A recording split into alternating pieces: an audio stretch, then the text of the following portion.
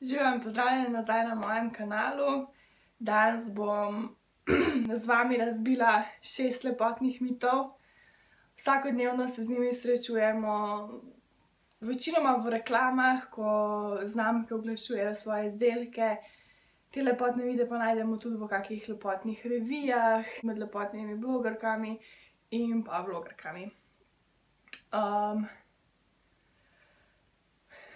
Prvi lepotni mit, o katerem bi rada govorila, so lasje, in sicer poškodovane, razcepljene konice in izdelki, ki bi naj popravili, zacelili scepljene konice. Ko je las enkrat odprt, ko se konica scepi, je ne bo ničesar več pozdravilo oziroma popravilo v zdravo obliko.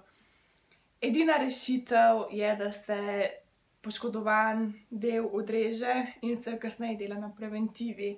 Razne maske, olja, pa tudi šamponi, ki obljubljajo popravilo razcepljenih konic, to je velika laž. izdelek bo las malo obtežil, malo bo zlepil skupaj konico do naslednjega pranja.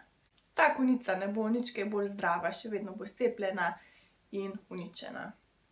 Drug lepotni mit je, da se kreme, krema se ne bo vpila globoko v kožo, ne bo čudežno zbrisala naših gub. Ena izmed znamk celo oglašuje, da se krema vpije v kožo, kjer targetira na DNK in ga spremeni in posledično imate manj gubic. To je larifari. To niti približno ni mogoče oziroma tudi če je mogoče, si definitivno ne želite kreme, ki bi spreminjala vaš DNK. Krema bo super kot preventiva, kot nega, kot vlaženje. Načeloma lahko tudi v uporabi dokler do večera ali pa recimo za par uric zapolni gubo optično, to je pa tudi vse. Nobena krema ne bo zabrisala gubic. Nobena. Prav tako noben od izdelkov ne bo zmanjšal oziroma dobesedno izbrisal razširjenih por. Ko je pora enkrat odprta, razširjena, jo lahko, lahko vi uporabljate izdelke, ki optično zmanjšajo to poro, recimo zelo dober je niacinamid od The Ordinary. Lahko pa uporabljate kake primerje, ki jih uporabite pred nanosom mejkapa, zato da se pora zapolni in se potem mejkap lepše nanaša, ne usede se v poro, ampak pač kreme, ki izbrišejo pore, ne obstajajo. Ne. Prav tako ne obstajajo kreme, ki bi zbrisale strije. Nobena krema ne bo čudežno odstranila strije. Strija je pokana koža, torej ko se naša koža razteza ali pa celo krči, pokne. Aktivna strija bo rdečkasto vijolične modre barve in bo kar precej opazna.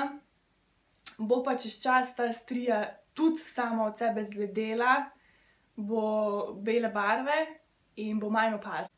Ko je strija še v aktivni fazi, torej ko je še rdečkasto vijoličkasta, jo lahko negujete in dosežete samo to, da bo prej zbledela, da bo prej bele barve in da se bo prej manj poznala. Tiste mini drage kremice, ke obljubljajo, da zbrišejo strije in odstranijo strije, ne bojo jih. Najboljše za strije je preventiva, da je koža negovana, nahranjena in da je pripravljena na neko določeno raztezanje pa krčenje.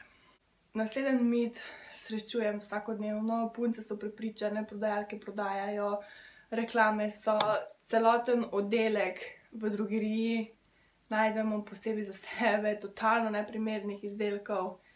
Govorim o negi aknaste pa mozoljaste kože. Aknasta pa mozoljasta koža potrebuje neko nežno, neagresivno nego pa vlaženje. Vlaga, vlaga, vlaga.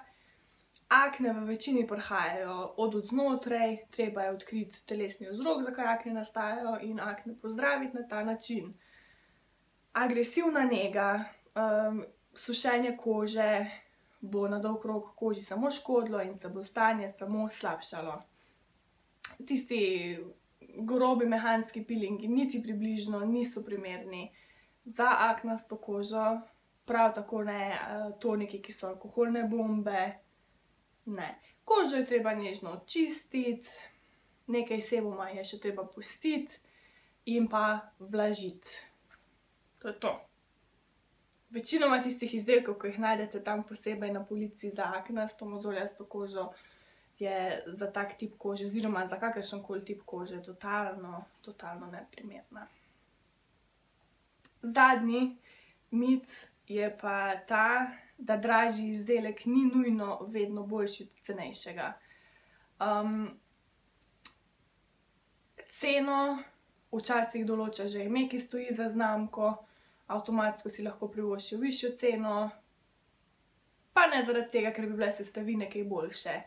Določeni izdelki investirajo v dobre, kvalitetne sestavine, odtot tudi cena, tisti so ponavadi boljši, nekateri se odločijo za dražje raziskave, tudi v tistih primerih so izdelki v večini dobri.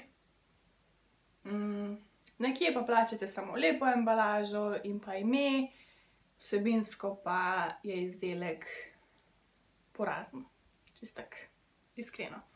Um, danes to, danes ta rek, mal denarja, mal muske ne vela več, med cenovno ugodnimi izdelki lahko najdemo že odlično kozmetiko, odlične negovalne izdelke, odlične make-up izdelke in to, da, je, to, da so dražji izdelki boljši, že kar nekaj časa ne vela več.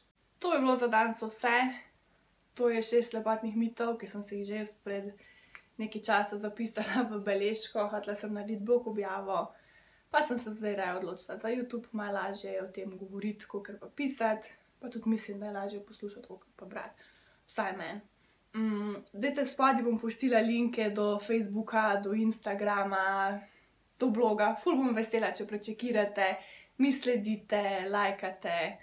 Definitivno, dosti bo redno objavljam na svoji Facebook strani in pa na Instagramu, kot pa tukaj, ampak se bom potrudila, da bo tudi tukaj videi ratali dosti bolj redni. To je to, se kmalo spet vidimo, čau!